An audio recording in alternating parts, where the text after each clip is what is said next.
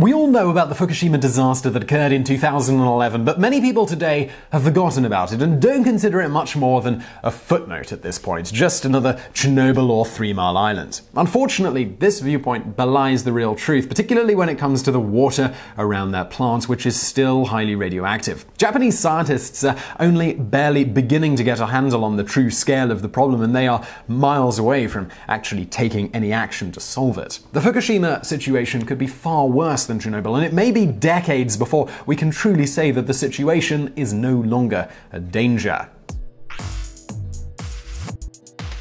Number 10. Some people are convinced that the whole thing was caused by Israel. It wouldn't be a disaster without a ridiculous conspiracy theorist spending thousands of words saying something that doesn't really make any sense. A man named Jim Stone, whose credentials cannot be verified but claims to be a former national security official and says he has previously worked in engineering, believes that he has found the real truth behind Fukushima. According to Stone, the Japanese were actually working on enriched uranium to help Iran, Israel's worst enemy, acquire nuclear weapons with which to destroy them. This, of course, couldn't stand with the Jewish people, so they planted bombs inside the facility and then also planted them on the ocean floor. After this cunning trick, they waited for an earthquake and then used that as cover to detonate their bombs and cause a massive tsunami. They also allegedly set off some bombs inside Fukushima for good measure. Of course, there are several reasons why this theory cannot work. The first reason is that the tsunami was proven to be a completely natural event, but it also doesn't make sense that they would be able to bomb the facility without sabotage being obvious and without the Japanese making a big deal about it with the international community. The truth is that it's just logical that everything happened naturally. People just like to believe otherwise because it's scary to know how much is out of our control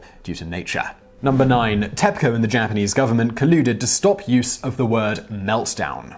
The Japanese are a culture known for being worried about saving face, and during the aftermath of the Fukushima disaster, they certainly proved that it was often more important to them than people's safety. For the first couple of months, the utility company, as well as the government, would not even say that it had melted down and carefully avoided using the word. When evidence came up later of collusion at the highest levels, both entities did their best to claim that it was not true, but the damage to their reputation was already done. The overall problem is not really seeing major improvement, and while some areas do have less radiation, but that doesn't mean we should let our guard down. The government still tries to downplay the radiation that's still in effect and seems interested in sending people back to the area, despite the fact that the situation nearby is still not even close to being under control and may not be for the foreseeable future. The government wants everyone in the world to think everything is fine and contained, but the situation is almost certainly not under control, and sending people back to Fukushima at this point is premature.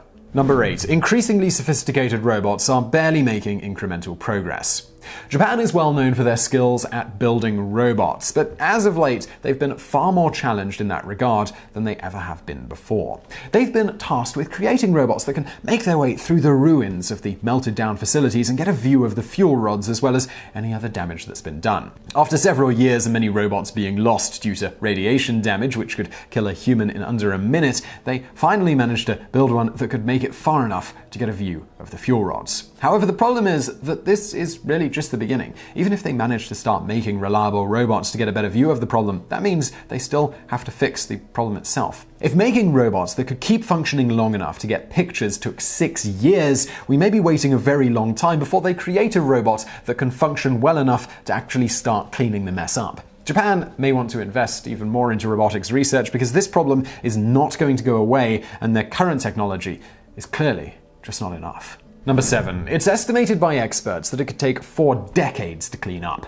Many people have been worried that the cleanup could take many years, but experts have cautioned that it could be even worse than most of us ever imagined. Some experts estimate that it could take four decades, and that's without any extra complications coming up. This creates a huge problem for Japan because it is a long term drain on their economy that nets them nothing in return and creates a constant sense of mistrust and makes it difficult for people to consider further nuclear power. The government wishes to already start sending people back, but with the recovery efforts expected to take decades, there is also the spectre of some kind of setback, causing more evacuations in the future. However, Japan is a small island with a large population, and they want to be able to use that space again for people as soon as possible. Those who live in other countries are starting to worry when they hear about the timetable, as any nuclear disaster that isn't fully contained can send nuclear fallout all around the world. Number 6. Two years after the disaster, contaminated water reached the shores of North America. Shortly after Fukushima, a graphic started going around claiming that radiation from the disaster was spreading all over the world and would soon reach North America, where it would pretty much contaminate everything. Now, it was proven there was no gigantic cloud of radiation and that such fallout wouldn't even move that fast anyway. However, both a group of researchers and a private citizen group who wanted to track radiation spent two years gathering water samples and constantly testing them for radiation. Their data found that it actually took two years for any radiation from Fukushima to reach all the way to the shores of North America. While some may consider this a reason to be seriously alarmed, the diluted amount, while notable, was also well below what's considered harmful by scientists. Now, while it was not a reason for immediate alarm, it does show that these disasters can have global effects and that if Japan's nuclear wastewater were to make its way more rapidly and untreated into the ocean, perhaps we would start to see a more demonstrable effect, or even a real problem. Number 5. Japan spent a quarter of a billion on an ice wall that isn't working. Japan has a problem with groundwater around the damaged nuclear reactors. It gets in and then it's pumped back out of the basements and is now contaminated and has to be properly stored and treated until it can be released at some point in the far, far future. So far, hundreds and hundreds of tanks of contaminated water surround the area as Japan tries to keep a handle on the problem. As a crazy, last ditch supervillain style plan to deal with the issue, TEPCO decided to use electric power to freeze the ground around the reactors up to 100 feet down, creating creating an ice wall to block out the groundwater. Unfortunately, it's not working as well as they hoped. Despite the quarter of a billion dollars spent making it, the biggest issue is that the water simply finds a way to get through, and 100 feet, or perhaps even 1,000 feet, might just not be enough. Critics are also worried that since the ice wall requires a lot of very vulnerable technology, it could easily fall apart in a natural disaster, and then the entire situation could quickly spiral out of control. Number 4. Wild boars in the forest are retaking Fukushima as residents prematurely return. Fukushima was abandoned by its citizens following the mandatory evacuation after the disaster caused radiation levels too high for citizens to continue living safely in the area. People literally just left their homes and much of their furnishings and lives behind and hoped that one day they could return to keep things going as before. However, apart from the worries of lingering radiation, if they decide to go back, they're likely to find themselves with a great deal of work to do. The forest is already starting to reclaim the land, and after only a few years, many houses even have trees or other vegetation growing into them and through them. They have also sustained all kinds of damage from the weather and from animals who have used their homes as shelters from the elements. To make matters even worse for the citizens, the city is becoming overrun with wild boars who are behaving far differently than boars usually do. Wild boars in Japan tend to be shyer around humans and stick more to the mountains. Whether or not the radiation is causing this is debatable, but these boars don't seem fearful of a human presence and appear to behave more aggressively as well. Number 3. More people died from the evacuation process than from the disaster directly.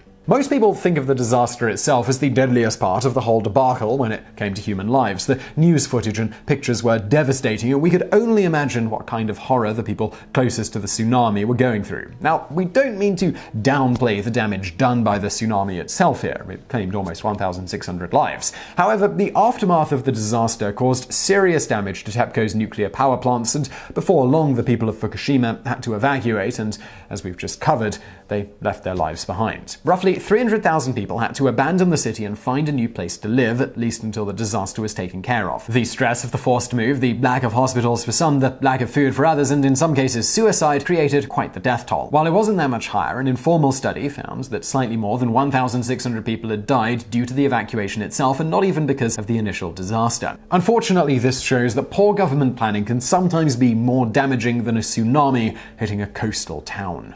Number 2. Japan has considered simply dumping a million tons of radioactive water into the ocean. As we mentioned earlier, Japan has a bit of a problem when it comes to contaminated groundwater. They believe they are processing most of the radioactive elements out, but the tritium remains, and it will be still quite a few years before that even reaches its half life. In the meantime, they have about a million tons of the stuff laying about, and they don't know what to do with it. Some people have suggested simply dumping it into the ocean. However, critics from both inside and outside of Japan think that that's a ludicrous idea. We simply don't know what the effects could be of dumping that much radioactive water into the ocean, and we shouldn't start testing on this scale right now. Those who have called for it have suggested they do it in case something were to happen that caused the water tanks to burst, such as another natural disaster. However, Japan have put the plan on hold for now because releasing that much nuclear wastewater at once might even be considered a violation of international treaties or even an act of war. It would certainly be an unprecedented and fully willful poisoning of our oceans.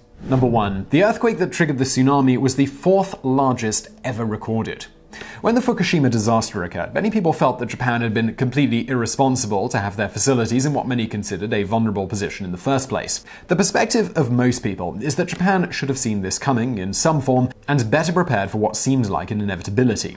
After all, this is a country that's familiar with earthquakes and tsunamis. However, their familiarity may not have been enough in this case, because the earthquake and ensuing tsunami were entirely unprecedented in their entire history. Japan has had, in recorded history, close to 200 earthquakes that reached over a 7 magnitude. This means that they're prepared for things up to this sort of scale. Unfortunately, the earthquake that created the horrific tsunami was a 9. This makes it the strongest earthquake Japan has ever experienced and the fourth strongest earthquake in recorded history. This doesn't mean the Japanese were entirely responsible, but it does give a certain explanation as to why a culture that is known for dealing with earthquakes and tsunamis was caught quite so off guard. So I really hope you found that video interesting. If you did, please do hit that thumbs up button below and do not forget to subscribe. We've got brand new videos just like this every day of the week. And if you're looking for something else to watch right now, why not check out our videos linked to on the screen now? And as always, thank you for watching.